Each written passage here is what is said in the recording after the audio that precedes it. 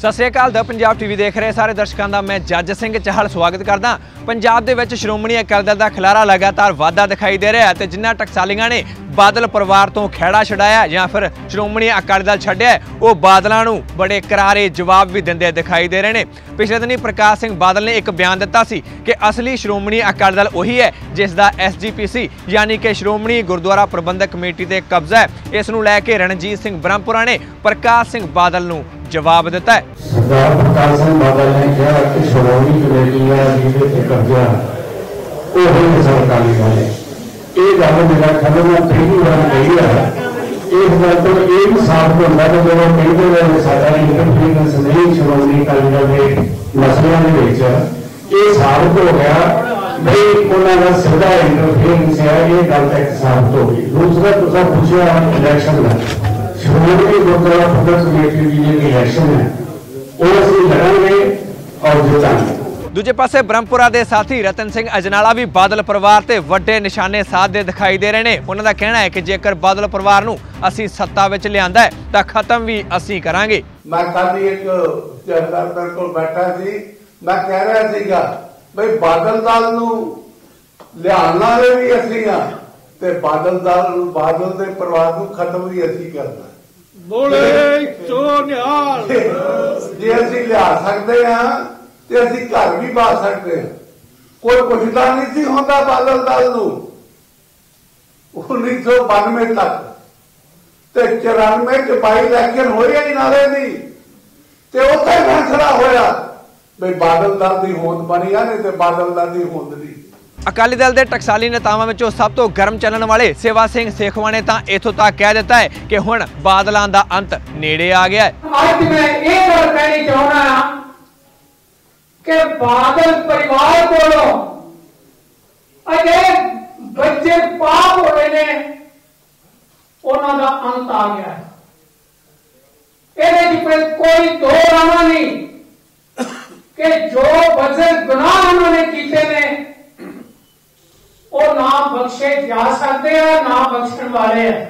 ਹੁਣ ਤੁਹਾਨੂੰ ਉਹ ਬਿਆਨ ਸੁਣਾ ਦਿੰਨੇ ਆ ਜਿਸ ਵਿੱਚ ਪ੍ਰਕਾਸ਼ ਸਿੰਘ ਬਾਦਲ ਨੇ ਇਹ ਕਿਹਾ ਸੀ ਕਿ ਅਸਲੀ ਅਕਾਲੀ ਦਲ ਕਿਹੜਾ ਹੁੰਦਾ ਹੈ? ਅਕਾਲੀ ਦਲ ਐ ਨਹੀਂ ਹੁੰਦਾ ਵੀ ਅਕਾਲੀ ਦਲ ਕੋਈ ਬਣਾ ਲੇ। ਅਕਾਲੀ ਦਲ ਉਹ ਹੈ ਜਿਹਦੇ ਕੋਲੇ ਸ਼੍ਰੋਮਣੀ ਗੁਰਦੁਆਰਾ ਪ੍ਰਬੰਧਕ ਕਮੇਟੀ ਹੈ। ਇਹ ਸ਼ੁਰੂ ਤੋਂ ਰਿਹਾ ਹੈ।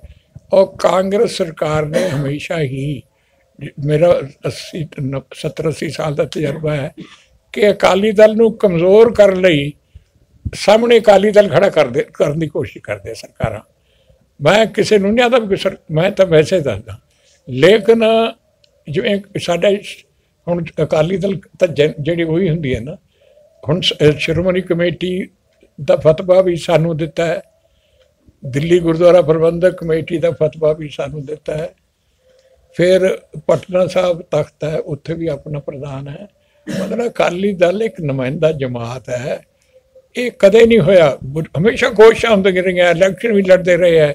ਪਰ ਅਕਾਲੀ ਦਲ ਇੱਕੋ ਹੀ ਰਹਿੰਦਾ, ਦੂਜਾ ਕਦੇ ਅਕਾਲੀ ਦਲ। ਦਰਅਸਲ ਪ੍ਰਕਾਸ਼ ਸਿੰਘ ਬਾਦਲ ਦੇ ਇਸ ਬਿਆਨ ਤੋਂ ਇਹ ਅੰਦਾਜ਼ੇ ਲਾਏ ਜਾ ਰਹੇ ਨੇ ਕਿ ਸ਼੍ਰੋਮਣੀ ਗੁਰਦੁਆਰਾ ਪ੍ਰਬੰਧਕ ਕਮੇਟੀ ਨੂੰ ਲੈ ਕੇ, ਜਿਵੇਂ ਕਿ ਪਹਿਲਾਂ ਪ੍ਰਕਾਸ਼ ਸਿੰਘ ਬਾਦਲ ਵੱਲੋਂ ਕਿਹਾ ਜਾਂਦਾ ਸੀ ਕਿ ਐਸਜੀਪੀਸੀ ਵਿੱਚ ਸਾਡੀ ਕੋਈ ਵੀ ਦਖਲ ਅੰਦਾਜ਼ੀ ਨਹੀਂ ਹੁੰਦੀ ਹੈ। ਪਰ ਜਦੋਂ ਪ੍ਰਕਾਸ਼ ਸਿੰਘ ਬਾਦਲ ਨੇ ਇਹ ਕਿਹਾ ਕਿ ਅਸਲੀ ਅਕਾਲੀ ਦਲ ਹੀ ਉਹੀ ਹੈ ਜਿਸ ਦਾ ਐਸਜੀਪੀਸੀ ਦਾ ਕਬਜ਼ਾ ਹੈ ਉਸ ਤੋਂ ਬਾਅਦ ਇਹ ਸਵਾਲ ਉੱਠਣੇ ਸ਼ੁਰੂ ਹੋ ਗਏ ਸਨ ਕਿ ਇਸ ਤੋਂ ਇਹ ਸਾਫ਼ ਜ਼ਾਹਿਰ ਹੋ ਰਿਹਾ ਹੈ ਕਿ ਸ਼੍ਰੋਮਣੀ ਅਕਾਲੀ ਦਲ ਦਾ ਸ਼੍ਰੋਮਣੀ ਗੁਰਦੁਆਰਾ ਪ੍ਰਬੰਧਕ ਕਮੇਟੀ ਦੇ ਕੰਮਕਾਜ ਵਿੱਚ ਸਿੱਧਾ ਦਖਲ ਹੈ। ਇਸੇ ਤੋਂ ਬਾਅਦ ਹੀ ਟਕਸਾਲੀ ਨੇਤਾਵਾਂ ਨੇ ਵੀ ਪ੍ਰਕਾਸ਼ ਸਿੰਘ ਬਾਦਲ ਨੂੰ ਜਵਾਬ ਦਿੱਤਾ ਹੈ। ਉਦੋਂ ਦੂਜੇ ਪਾਸੇ ਟਕਸਾਲੀ ਨੇਤਾਵਾਂ ਨੇ ਇਹ ਵੀ ਐਲਾਨ ਕਰ ਦਿੱਤਾ ਹੈ ਕਿ ਉਹ ਨਵੀਂ ਪਾਰਟੀ ਬਣਾ ਕੇ ਐਸਜੀਪੀਸੀ ਚੋਣਾਂ ਵੀ ਲੜਨਗੇ ਅਤੇ ਲੋਕ ਸਭਾ ਦੀਆਂ ਚੋਣਾਂ ਵੀ ਲੜਨਗੇ। ਹੁਣ ਦੇਖਣ ਵਾਲੀ ਗੱਲ ਇਹ ਹੋਏਗੀ ਕਿ ਐਸਜੀਪੀਸੀ ਅਤੇ ਲੋਕ ਸਭਾ ਦੀਆਂ ਚੋਣਾਂ ਦੇ ਵਿੱਚ ਇਹਨਾਂ ਨੂੰ ਕਿੰਨਾ ਕੁ ਲੋਕਾਂ ਦਾ ਹੁੰਗਾਰਾ ਮਿਲਦਾ ਹੈ, ਕਿਉਂਕਿ ਬਹੁਤ ਵੱਡੀਆਂ ਵੱਡੀਆਂ ਗੱਲਾਂ ਇਹਨਾਂ ਟਕਸਾਲੀ ਨੇਤਾਵਾਂ ਵੱਲੋਂ ਕੀਤੀਆਂ ਜਾ ਰਹੀਆਂ ਨੇ। ਬਾਦਲ ਪਰਿਵਾਰ ਨੂੰ ਖਤਮ ਕਰਨ ਦੀਆਂ ਗੱਲਾਂ ਇਹਨਾਂ ਟਕਸਾਲੀ ਨੇਤਾਵਾਂ ਵੱਲੋਂ ਕੀਤੀਆਂ ਜਾ ਰਹੀਆਂ ਨੇ। ਪਰ ਲੋਕ ਕੀ ਇਹਨਾਂ ਦੀਆਂ ਗੱਲਾਂ ਤੇ ਯਕੀਨ ਕਰਨਗੇ? ਦੂਜੇ ਪਾਸੇ ਆਮ ਆਦਮੀ ਪਾਰਟੀ ਦੇ ਬਾਗੀ ਧੜੇ ਦੇ ਸੁਖਪਾਲ ਸਿੰਘ ਖਹਿਰਾ ਦਾ ਵੀ ਕਹਿਣਾ ਹੈ ਕਿ ਇਹਨਾਂ ਟਕਸਾਲੀ ਨੇਤਾਵਾਂ ਨੇ ਸਾਡੇ ਨਾਲ ਕੋਈ ਸੰਪਰਕ ਨਹੀਂ ਕੀਤਾ। ਜੇਕਰ ਸੰਪਰਕ ਕੀਤਾ ਹੁੰਦਾ, ਤਾਂ ਇੱਕ ਮੰਚ ਤੇ ਵੀ ਅਸੀਂ ਇਕੱਠੇ ਹੋ ਸਕਦੇ ਸੀ। ਯਾਨੀ ਕਿ ਸੁਖਪਾਲ ਸਿੰਘ ਖਹਿਰਾ ਦਾ ਧੜਾ ਅਤੇ ਟਕਸਾਲੀ ਨੇਤਾਵਾਂ ਦਾ ਧੜਾ ਇਕੱਠਾ ਹੋ ਸਕਦਾ ਸੀ, ਪਰ ਫਿਲਹਾਲ ਅਜਿਹਾ ਹੁੰਦਾ ਦਿਖਾਈ ਨਹੀਂ ਦੇ ਰਿਹਾ ਇੱਥੇ ਇੱਕ ਸਵਾਲ ਹੁਣ ਅਸੀਂ ਤੁਹਾਡੇ ਤੋਂ ਪੁੱਛ ਲੈਣਾ ਚਾਹੁੰਦੇ ਹਾਂ ਕਿ ਕੀ ਤੁਹਾਨੂੰ ਲੱਗਦਾ ਹੈ ਕਿ ਇਹਨਾਂ ਟਕਸਾਲੀ ਨੇਤਾਵਾਂ ਦੇ ਵਿੱਚ ਇੰਨਾ ਦਮ ਹੈ ਕਿ ਬਾਦਲ ਪਰਿਵਾਰ ਨੂੰ ਪੰਜਾਬ ਦੀ ਸਿਆਸਤ ਦੇ ਵਿੱਚੋਂ ਖਤਮ ਕਰ ਸਕਦੇ ਨੇ ਇਸ ਬਾਰੇ ਤੁਹਾਡੀ ਕੀ رائے ਹੈ ਇਸ ਵੀਡੀਓ ਤੇ ਕਮੈਂਟ ਕਰਕੇ ਆਪਣੀ رائے ਖੁੱਲ੍ਹ ਕੇ ਬੇਬਾਕ ਹੋ ਕੇ ਜ਼ਰੂਰ ਦਿਓ ਜੇਕਰ ਤੁਹਾਨੂੰ ਦਾ ਪੰਜਾਬ ਟੀਵੀ ਨਿਊਜ਼ ਚੈਨਲ ਪਸੰਦ ਆਉਂਦਾ ਹੈ ਅਤੇ ਤੁਸੀਂ ਇਸੇ ਤਰ੍ਹਾਂ ਪੰਜਾਬ ਦੀ ਹਰ ਖਬਰ ਨੂੰ ਨਿਰਪੱਖਤਾ ਨਾਲ ਦੇਖਦੇ ਰਹਿਣਾ ਚਾਹੁੰਦੇ ਹੋ ਤਾਂ ਇਸ ਚੈਨਲ ਨੂੰ YouTube ਤੇ ਸਬਸਕ੍ਰਾਈਬ ਜ਼ਰੂਰ ਕਰ ਲਓ ਮੈਂ ਜੱਜ ਸਿੰਘ ਚਾਹਲ ਇਸੇ ਤਰ੍ਹਾਂ ਹੀ ਪੰਜਾਬ ਦੀ ਹਰ ਖਬਰ ਨੂੰ ਨਿਰਪੱਖਤਾ ਨਾਲ ਤੁਹਾਡੇ ਤੱਕ ਪਹੁੰਚਾਉਂਦਾ ਰਹਾਂਗਾ ਤੁਸੀਂ ਬਣੇ ਰਹੋ ਦਾ ਪੰਜਾਬ ਟੀਵੀ ਦੇ ਨਾਲ ਤੇ ਜੋ ਡਰਾਮਾ ਉਹਨਾਂ ਨੇ ਆ ਪਿਛਲੇ ਦਿਨੀ ਦਰਬਾਰ ਸਾਹਿਬ ਆ ਕੇ ਕੀਤਾ ਆ ਮੈਂ ਪੁੱਛਣਾ ਚਾਹੁੰਦਾ ਬਾਦਲ ਸਾਹਿਬ ਥੋੜਾ ਜਿਹਾ ਹਿਸਟਰੀ ਤੇ ਝਾਤੀ ਮਾਰੋ। ਮਾਤਾ ਗੰਗਾ ਜੀ, ਬਾਬਾ ਬੁੱਢਾ ਜੀ ਤੋਂ ਵਰ ਲੈਣ ਗਏ ਸਨ। ਤੇ ਜਦੋਂ ਪਹਿਲੀ ਵਾਰੀ ਵਰ ਫੱਬ ਕੇ ਗਏ, ਤੇ ਵਰ ਲੈਣ ਦੀ ਬਜਾਏ ਉਹਨਾਂ ਕੋਲ ਮਾੜੇ ਸ਼ਬਦ ਸੁਣ ਕੇ ਆਏ। ਲੇਕਿਨ ਜਦੋਂ ਨਮਾਣੇ ਬਣ ਕੇ ਆਪਣੇ ਹੱਥੀ ਭੋਜਨ ਤਿਆਰ ਕਰਕੇ ਆਪਣੇ ਸਿਰ ਤੇ ਲੱਸੀ ਵਾਲਾ ਗੜਵਾ ਰੱਖ ਕੇ ਨੰਗੇ ਪੈਰੀ ਤੋੜ ਕੇ ਬਾਬਾ ਜੀ ਕੋ ਗਏ ਤੇ ਉਸ ਪੁੱਤਰ ਦੀ ਦਾਤ ਮਿਲੀ ਛੇਵੇਂ ਪਾਤਸ਼ਾਹ ਸਾਹਿਬ ਸ੍ਰੀ ਗੁਰੂ ਹਰਗੋਬਿੰਦ ਸਾਹਿਬ ਜਿਹੜੇ ਇੰਨੇ ਬਹਾਦਰ ਤੇ ਇੰਨੇ ਤਕੜੇ ਸਨ ਕਿ ਦੋ ਬੰਦੇ ਕਛਾਂ ਵਿੱਚ ਰਾਜ ਦੀ ਕਿਲੇ ਦੀ ਕੰਧ ਤੇ ਭੱਜ ਸਕਦੇ ਸਨ ਇਹੋ ਜਿਹੇ ਪੁੱਤਰ ਦੀ ਦਾਤ ਮਿਲੀ ਤੁਸੀਂ ਲਾਮ ਲਸ਼ਕਰ ਲੈ ਕੇ ਆਪਣਾ ਟੀਵੀ ਚੈਨਲ ਲੈ ਕੇ ਬੂਟ ਪਾਲਿਸ਼ ਕਰਦੇ ਤੇ ਸੇਵਾ ਕਰਦੇ ਲਾਈਵ ਖਾ ਕੇ ਕੀ ਦੱਸਣਾ ਚਾਹੁੰਦੇ ਹੋ ਤੁਹਾਡੇ ਮਨ ਵਿੱਚ ਸੇਵਾ ਭਾਵਨਾ ਸੀ ਤੁਸੀਂ ਤੇ ਇਹ ਸੇਵਾ ਤੋਂ ਵੀ ਰਾਜਨੀਤਿਕ ਰਾਹ ਲੈਣਾ ਚਾਹੁੰਦੇ ਹੋ ਕਿ ਅਸੀਂ ਵਿਖਾਈਏ ਵੇਖੋ ਅਸੀਂ ਕਿੰਨੀ ਸੇਵਾ ਕਰ ਰਹੇ ਹਾਂ। ਜਿਨ੍ਹਾਂ ਸੇਵਾ ਕਰਨੀ ਹੁੰਦੀ ਆ, ਉਹ ਤਾਂ ਕਿਸੇ ਨੂੰ ਦੱਸ ਕੇ ਵੀ ਨਹੀਂ ਆਉਂਦੇ। ਉਹ ਤੇ ਇਹ ਵੀ ਨਹੀਂ ਕਰਦੇ ਕਿ ਅਸੀਂ ਸੇਵਾ ਕਰ ਰਹੇ ਹਾਂ। ਤੁਸੀਂ ਇਹ ਸੇਵਾ ਤੋਂ ਵੀ ਰਾਜਨੀਤਿਕ ਲਿਆ ਲੈਣ ਵਾਸਤੇ ਯਤਨ ਕੀਤਾ? ਉਹ ਗੁਰੂ ਸਾਹਿਬ ਤੁਹਾਨੂੰ ਕਦੀ ਮਾਫ ਨਹੀਂ ਕਰਨਗੇ। ਤੇ ਮੈਂ ਪੁੱਛਣਾ ਚਾਹੁੰਦਾ, ਬਾਦਲ ਸਾਹਿਬ, ਤੁਹਾਡੇ 10 ਸਾਲ ਦੇ ਰਾਜ ਵਿੱਚ ਜਿਨ੍ਹਾਂ ਮਾਵਾਂ ਦੇ ਪੁੱਤ ਚਿੱਤਾ ਪੀ ਕੇ ਮਰ ਗਏ, ਕੀ ਉਹਨਾਂ ਮਾਵਾਂ ਦੀਆਂ ਆਤਮਾਵਾਂ ਤੁਹਾਨੂੰ ਮਾਫ ਕਰ ਦੇਣਗੀਆਂ? ਜਿਹੜੇ ਕਿਸਾਨ ਤੁਹਾਡੇ 10 ਸਾਲਾਂ ਦੇ ਰਾਜ ਵਿੱਚ ਕਰਜ਼ੇ ਦੇ ਵਿਰੋਧ ਕਰਕੇ, ਤੁਹਾਡੇ ਪ੍ਰੋਗਰਾਮਾਂ ਕਰਕੇ ਆਤਮ ਹੱਤਿਆਵਾਂ ਕਰ ਗਏ ਉਹਨਾਂ ਦੇ ਪਰਿਵਾਰਾਂ ਦੀਆਂ ਆਤਮਾਵਾਂ ਤੁਹਾਨੂੰ ਮਾਫ ਕਰ ਦੇਣਗੀਆਂ।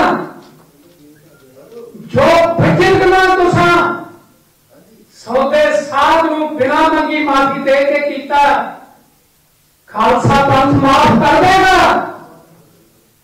ਔਰ ਜੋ ਗੁਰੂ ਮਹਾਰਾਜ ਦੀ ਬੇਅਦਬੀ ਤੁਹਾਡੇ ਰਾਜ ਵਿੱਚ ਹੋਈ ਹੈ, ਜਿਹਦੇ ਵਿੱਚ ਤੁਹਾਡੀ ਮਿਲੀ ਭੁਗਤ ਹੈ ਖਾਲਸਾ ਪੰਥ ਕਦੀ ਮਾਫ ਨਹੀਂ ਕਰੇਗਾ। ਉਹ ਦੋ ਸਿੰਘ ਸ਼ਹੀਦ ਹੋਏ ਆ ਜਿਹੜੇ। ਉਹਨਾਂ ਦੇ ਪਰਿਵਾਰਾਂ ਦੀਆਂ ਆਤਮਾਵਾਂ ਤੁਹਾਨੂੰ ਮਾਫ ਕਰ ਦੇਣਗੀਆਂ। ਹਰ ਦਿਨ ਕਦੀ ਮਾਫ ਨਹੀਂ ਕਰਨਾ। ਤੇ ਜੇ ਲੋਕਾਂ ਦੀਆਂ ਆਤਮਾਵਾਂ ਤੁਹਾਨੂੰ ਮਾਫ ਨਹੀਂ ਕਰ ਸਕਦੀਆਂ, ਤੇ ਕਦੀ ਪਰਮਾਤਮਾ ਵੀ ਮਾਫ ਨਹੀਂ ਕਰੇਗਾ। ਇਸ ਕਰਕੇ ਵੀਰੋ, ਆਪ ਸਭ ਨੂੰ ਬੇਨਤੀ ਹੈ ਕਿ ਅਸੀਂ ਜੋ ਕੁਝ ਕਰ ਰਹੇ ਹਾਂ ਸ਼੍ਰੋਮਣੀ ਅਕਾਲੀ ਦਲ ਨੂੰ ਬਚਾਉਣ ਵਾਸਤੇ, ਉਹਨੂੰ ਮੋੜ ਪੈਣਾ ਸਿਰ ਲਿਆਉਣ ਵਾਸਤੇ, ਤੇ ਜਿਹੜਾ ਮਹਾਤਰਾ ਇਹਨਾਂ ਨੇ ਬਦਲਿਆ ਆਏਗਾ ਉਹਨੂੰ ਅਸਲੀ ਸਰੂਪ ਵਿੱਚ ਲਿਆਉਣ ਵਾਸਤੇ ਕਰ ਰਹੇ ਹਾਂ ਇਸ ਨੇਕ ਕਾਰਜ ਵਿੱਚ ਵਾਲੀਆ ਸਾਹਿਬ ਵਾਂਗੂ ਤੇ ਕਲਕੱਤਾ ਸਾਹਿਬ ਵਾਂਗੂ ਸਾਡਾ ਸਾਥ ਦਿਓ। ਤੁਹਾਨੂੰ ਯਕੀਨ ਦਿਵਾਉਂਦੇ ਆ ਕੋਈ ਲਾਲਚ ਨਹੀਂ। ਰਹਿੰਦੇ ਸਵਾਸ ਅਸੀਂ ਤਿੰਨੇ ਸੱਜਣ ਕੌਮ ਦੀ ਚੜ੍ਹਦੀ ਕਲਾ ਵਾਸਤੇ ਤੇ ਖਾਲਸਾ ਪੰਥ ਵਾਸਤੇ ਲਾਵਾਂਗੇ। ਬੋਲੇ ਸੋ ਨਿਹਾਲ। ਸ੍ਰੀ ਅਕਾਲ। ਮੈਂ ਅੱਜ ਇਹ ਗੱਲ ਕਹਿ ਸਕਦਾ ਕਿ ਕਲਕੱਤਾ ਸਾਹਿਬ ਦੀ ਆਤਮਾ ਖੁਸ਼ ਹੋਏਗੀ। ਉਹ ਕਲਕੱਤਾ ਸਾਹਿਬ ਸਿੱਖ ਕੌਮ ਦੇ ਮਹਾਨ ਵਿਦਵਾਨ, ਜਿਨ੍ਹਾਂ ਨੂੰ ਇਸ ਬਾਦਲ ਪਰਿਵਾਰ ਨੇ ਰੋ ਰੋ ਕੇ ਮਾਰਿਆ ਸਾਰੀ ਉਮਰ। ਉਸ ਇਨਸਾਨ ਤੋਂ ਬੜੇ ਵੱਡੇ ਕੌਮੀ ਫੈਲੇ ਗਏ ਜਾ ਸਕਦੇ ਸਨ।